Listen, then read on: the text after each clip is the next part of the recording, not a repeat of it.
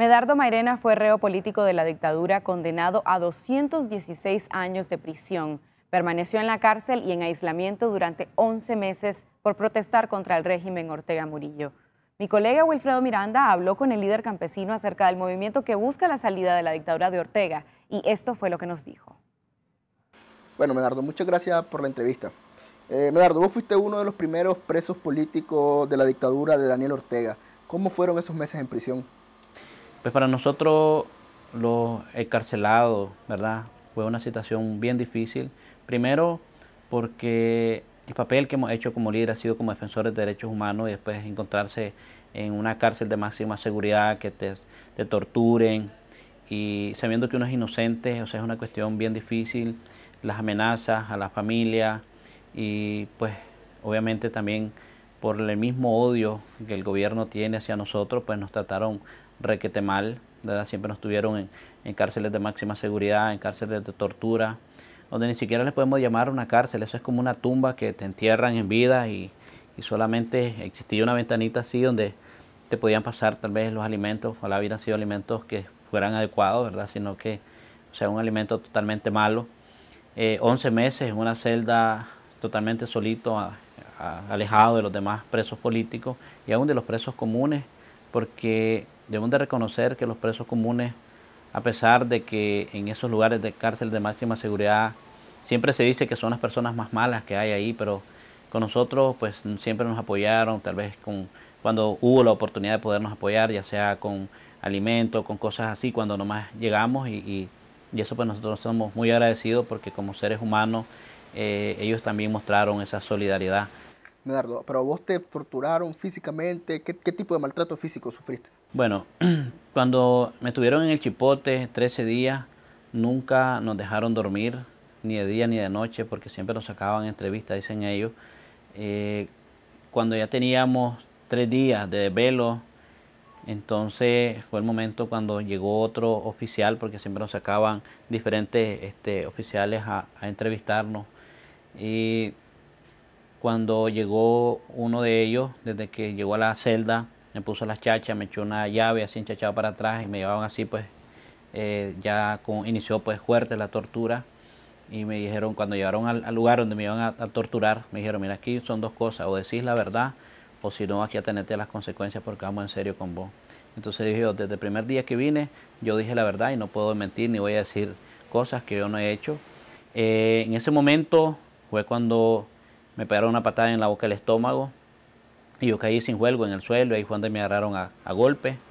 Y me dijeron, mira, que vas a aceptarme, dice, eh, que vos fuiste uno de los organizadores del golpe de Estado. Y yo dije, nunca ha habido un intento de golpe de Estado. Entonces, así fue cuando empezaron a golpearme y pues ahí totalmente maltratado. Medardo, a vos y a Pedro Mena los condenaron a más de 200 años de cárcel. ¿Qué sentiste vos cuando escuchaste esa sentencia del juez? Pues fíjate que yo lo miré como una cuestión ridícula totalmente porque primero de que nadie vive 200 años eh, y lo otro es de que yo siempre supe de que era una cuestión política, ¿verdad? Y que esto un día iba a resolverse por la vía política. Y siempre supe desde principio, porque eso me lo dijeron también en el Chipote, de que si no aceptaba su propuesta, ellos iban a ir duros conmigo que sí me iban a condenar con la pena máxima. Todavía en ese entonces me ofrecieron 60 años, pero después el fiscal pidió 73 años pero el día que me condenaron, el juez estaba septuplicando, porque ya me dejaron a 200 y resto de años. O sea, la fiscalía dijo una cosa, el investigador hizo otra y el juez hizo otra. Mientras estuviste en prisión, Eduardo, muchos, muchos campesinos, muchos líderes campesinos o tuvieron que exiliarse o fueron apresados igual que vos o están en la clandestinidad. En la actualidad, ¿cuál es el estado del movimiento campesino?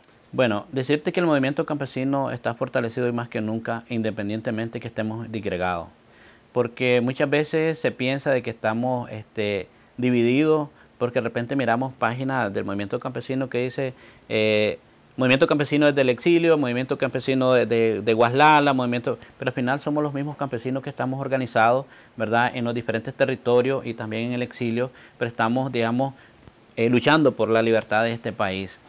Eh, los que se quedaron en Nicaragua no se fueron a su casa, ¿verdad?, desde el momento de que nos arrebataron las calles, y no se nos permite que podamos manifestarnos.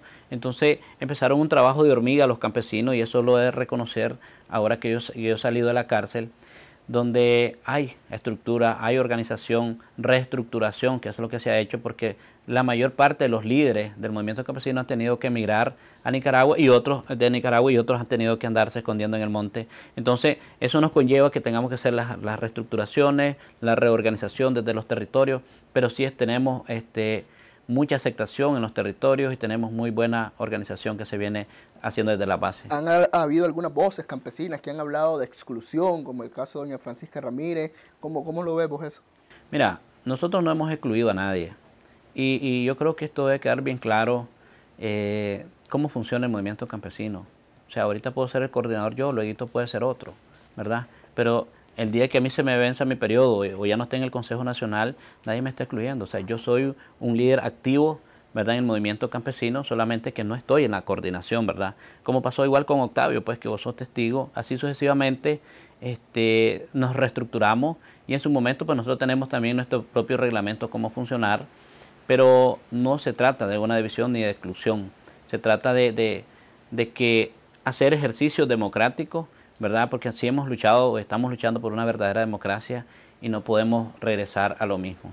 Eh, cuál es el espacio que ocupa el movimiento campesino adentro de la Alianza Cívica, adentro de la Unidad Nacional Azul y Blanco, cuál es el peso del campesinado en las negociaciones con la dictadura. Bueno, decirte que ahorita nosotros este, hemos estado escuchando los diferentes movimientos sociales en Nicaragua, hemos estado este, formulando una agenda, ¿verdad? preparándonos porque también eh, todos sabemos de que el movimiento campesino desde que se inició el diálogo el año pasado fuimos parte, fuimos parte de, cuando se fundó la Alianza Cívica y de la cual nosotros estamos pendientes que qué va a pasar, ¿verdad? Todos sabemos que está, la mesa está estancada, pero en su momento, eh, si se llega, nosotros estamos preparados también para llevar las demandas del pueblo y hoy que nos encontramos también en Costa Rica, también hemos escuchado eh, a muchos hermanos de lucha de la triste y difícil situación que están viviendo en este país, ya sean con problemas migratorios, ya sea eh, que no tienen alimento, que les toca dormir en, en la calle. O sea, es, bien difícil lo que está pasando, pero pues todos estamos claros que esta es culpa, ¿verdad?, del régimen que ha venido asediando. Medardo, vamos ahora a la postura actual de la dictadura de Daniel Ortega. El pasado 19 de julio, Ortega básicamente cerró la negociación política que mantenía con Alianza Cívica. ¿Qué opina de eso? Bueno, la verdad es que Ortega nunca ha tenido voluntad política para encontrar una salida negociada una salida pacífica para resolver la crisis sociopolítica que estamos viviendo los nicaragüenses. Porque él aposta a toda costa con las ansias de dinero y poder que tiene, no importa cuál sea la cuota de más personas que tenga que asesinar, y eso lo, lo ha hecho y también lo manifestó, ¿verdad? Con tal mantenerse en el poder. El discurso de él, el cerrar las negociaciones, eh, obviamente lo que él ha querido y ha pretendido es ganar tiempo, para mantenerse más en el poder, a lo mejor pasan dos, tres meses más y después se vuelve a instalar y así puede ganar tiempo porque así él quiere llegar hasta el 2021. Pero él tiene claro, y los nicaragüenses tenemos claro que mientras un día más que él esté en el poder, eso significa más muertos, significa más este, tortura, significa eh, la economía que se, se, cae más, pues porque todos sabemos de que hay grandes cantidades todavía nicaragüenses, a pesar de la gran cantidad que ya están en el exilio, que no soportan la represión. Y aquí esto es muy peligroso también porque el cansancio de la gente y cansada de estar recibiendo eh, amenaza, de ver cuánta gente asesinan diario, diario, diario hay muertos y ahora que ha venido de manera selectiva asesinando a campesinos, eso nos conlleva a que es muy peligroso y yo creo que aquí yo haría también un llamado a la, a la comunidad internacional y a la OEA a actuar más beligerante, ¿verdad? De que pasemos, como dicen, del dicho al hecho, ¿verdad? de conformar eh, la comisión que estamos nosotros también esperando también que se conforme de la OEA para Nicaragua, para que puedan hacer la evaluación, ¿verdad? retomando lo que se aprobó en Medellín, eh, para poder entrar nuevamente a Nicaragua. Porque yo creo que el gobierno se sigue oxigenando de la forma de que sigue asesinando y asediando al pueblo de Nicaragua para que los líderes principales que hemos sido asediados tengamos que abandonar Nicaragua. Ortega se ha equivocado y sería segundo error que debe cometer. Él, creyó que con el hecho de meterlos en la cárcel nos iba a, quitar la credibilidad con creernos este, eh, culpar de algo que no hemos cometido, pero eh, los hechos hablan por sí solos por cada quien. Hoy por hoy nos encontramos con un gran aprecio de nuestra gente que siempre hemos luchado juntos y, no les funcionó, ¿verdad? Eh, para muchos que creen que la cuestión, que esto está difícil y que ya no se puede, no es cierto. Ortega quiso de que tuviéramos, que me secara en la cárcel con 200 y resto de años, eh, que fue la condena, más sin embargo aquí estamos. ¿Ustedes aceptarían no adelantar las elecciones como propone el gobierno de Ortega y esperar hasta 2021? ¿Hay salida a la crisis sin adelanto electoral? Mira, si no hay adelantos electorales, la crisis no va, no va este, a terminar. Primero, porque no podemos confiar en una Policía Nacional que se supone que es la que debería de resguardarnos, darnos seguridad, son los que asesinan, son los que torturan, son los que secuestran. Una Asamblea Nacional que hace leyes para violentar nuestros derechos, un Consejo Supremo Electoral que siempre hace fraudes electorales y por supuesto que la parte ejecutiva que es la que da las órdenes para que asesinen y torturen al pueblo.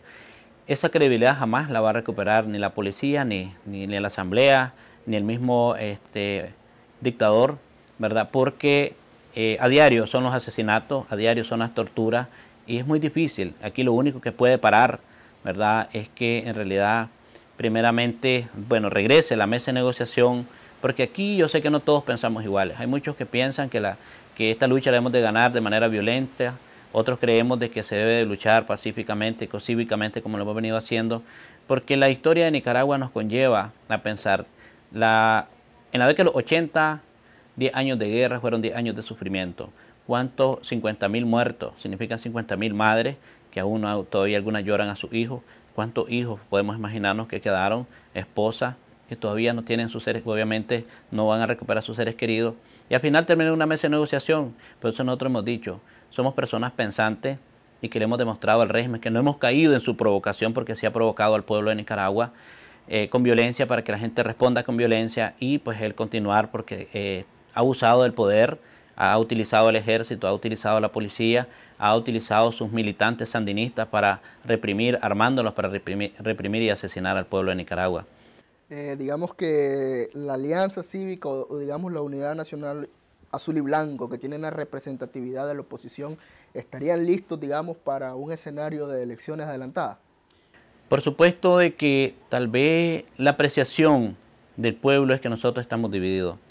Pero en realidad yo no siento que estemos divididos. Lo que pasa es que hay diversas opiniones, diversas formas de estar organizados, pero que todos tenemos claro que tenemos un problema o un objetivo en común de que tenemos que encontrar esa salida. Yo sí estoy claro que si el día de mañana fueran las elecciones, el pueblo de Nicaragua no va a fallar. Porque los nicaragüenses queremos salir de esta crisis sociopolítica independientemente de que no estamos en una gran unidad todos, pero todos estamos desesperados por salir de esa crisis. Yo estoy claro de que todos saldríamos por una sola casilla, porque no eh, tenemos la experiencia en la década de los 90, había un montón de casillas final, todo el pueblo se enrumbó para salir de la crisis, incluso los mismos militantes del Frente Sandinista en ese entonces ya no querían andar eh, asesinando al pueblo, y yo creo que esos hay muchísimos que todavía están en las filas del Frente ahorita, que por su trabajo, por la humillación que les ha hecho el régimen, ellos continúan allí por por llevar o ganarse el sustento de su familia. Todos sabemos de que cualquier persona de que no militaba en, el Frente Sandinista y si necesitaba conseguir un empleo siempre fue humillado en ese entonces y se matriculó con el régimen desgraciadamente porque lo humillaron a buscar un carnet de militante del Frente Sandinista cuando no lo tenía. Cuando él se fue a conseguir, obviamente ya se humilló y ese fue el momento que nos llevó para mantenerlos de una forma presionado para que puedan participar en la represión del pueblo, para que puedan participar también eh, en, las, protestas que ellos hacen, dicen ellos, pero es para reprimir al pueblo. O sea, están exigidos y comprometidos porque en ese entonces se matricularon para obedecer órdenes al régimen, pero nosotros estamos claros que de corazón no están eh, de ese lado de la mesa y estamos claros de que en una cuestión electoral ellos votarían en contra del régimen. Esa fue la entrevista que Medardo Mairena brindó a esta semana.